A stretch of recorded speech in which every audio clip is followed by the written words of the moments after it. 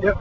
Hey everybody, Bill Engvall here on the set of my new movie Bait Shop. It is about 7 o'clock in the morning, it's freezing, and I get to get in the water today and get splashed by boats and all sorts of fun stuff. Me and Billy Ray Cyrus starring in this movie Bait Shop. It'll be out probably around Labor Day. I'll be sending you video clips for more backstage at the Bait Shop movie. Stay tuned.